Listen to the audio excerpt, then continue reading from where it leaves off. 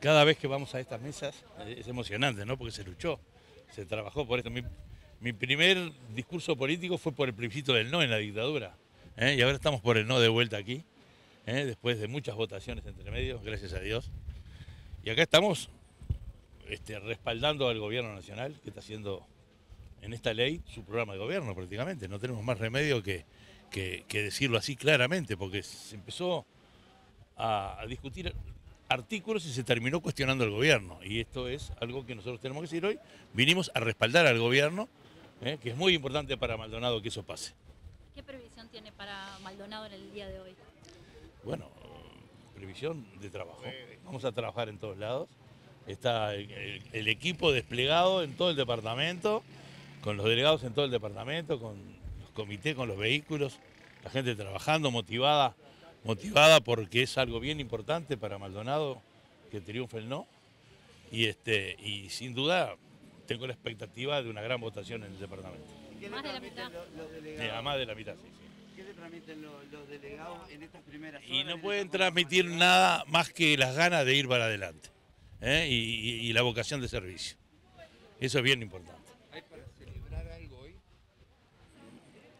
Yo creo que, no, no, no es celebrar, es confirmar, este, vamos a, creo que vamos a confirmar una marcha del gobierno que es bien importante, ¿no? Y, si tenemos algo para celebrar es la democracia, ¿eh? que nos elige cada cinco años y nos delega a distintos representantes este, eh, su confianza, que tenemos que ejercerla en cinco años y cumplir. ¿eh? Y después a los cinco años ¿eh? se revisará de vuelta. Y eso es lo que sí podríamos festejar. Estaba con la credencial en la mano recién. Eh, ¿Cuántas votaciones hay por allí? Hay unas cuantas. ¿eh?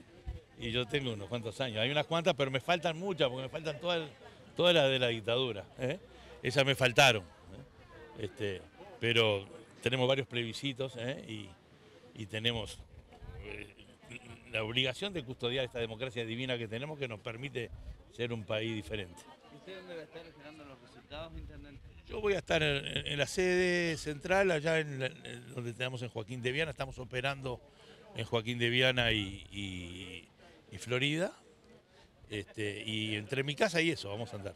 ¿Cómo vive usted en su hogar? Porque lo vemos acompañado de su familia. ¿Cómo se levanta el intendente en un día como hoy?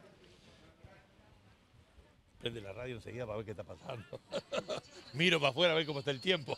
Es lo primero que hice. ¿eh? Y, este, y después eh, escuchar un poquito. A mí me gusta escuchar las radios en la mañana para ver qué, en, en qué estamos, ¿no es cierto?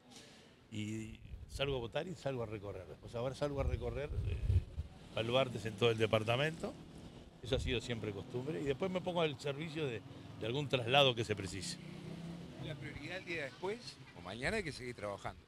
Tengo audiencias a partir de las 11 y tengo un montón de trabajo en el día. Gracias.